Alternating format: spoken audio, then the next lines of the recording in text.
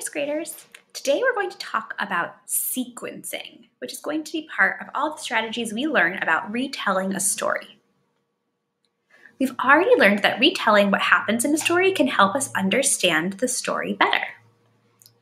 When we retell, we always tell the most important parts of the story. This is called the plot.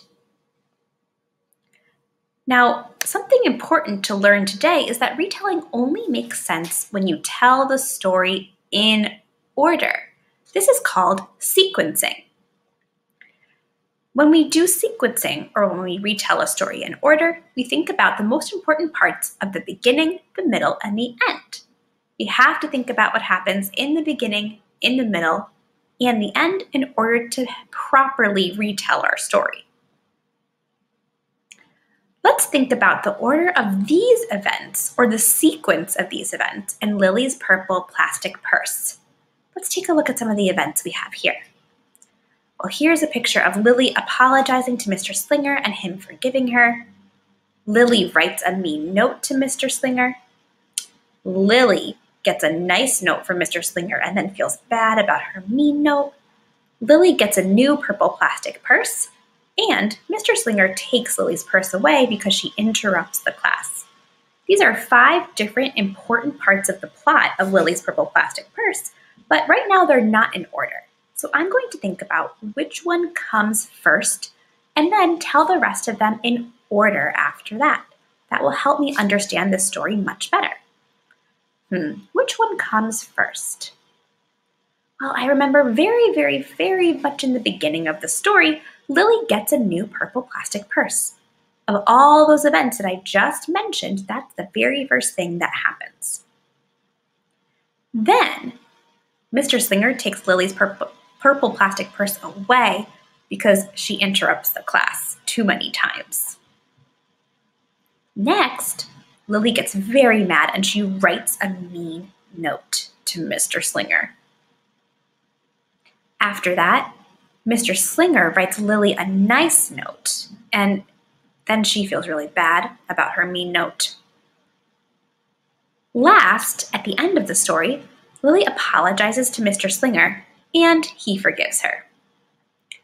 I put all of those events in order. I used sequencing to help me. I thought about what happened in the beginning, the middle, and the end. By doing this, I better understand this story and all the characters in it. But what happens if I change the way that I retell the story and put things out of order? Hmm, let's see if this makes sense. First, Mr. Slinger writes a nice note to Lilly, and Lilly feels bad about her mean note. Hmm, I'm already feeling a little confused. Next, Lilly gets a new purple plastic purse. Okay, after that, Lilly apologizes to Mr. Slinger and he forgives her. Well, that doesn't really make a lot of sense to me happening in the middle of the story. I'm not sure that really happened that way in the book. Let's keep going and see if this makes a lot of sense. Mr. Slinger takes Lilly's purse away because she interrupts the class. Well, I don't know if that happened in this part of the story, but last, Lilly writes a mean note to Mr. Slinger. Hmm, these events are not told in order.